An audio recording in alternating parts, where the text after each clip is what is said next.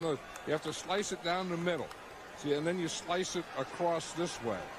Because what it is, it's a it's a deboned chicken stuffed in a deboned duck stuffed in a deboned turkey with dressing between the chicken and the duck and the duck and the turkey.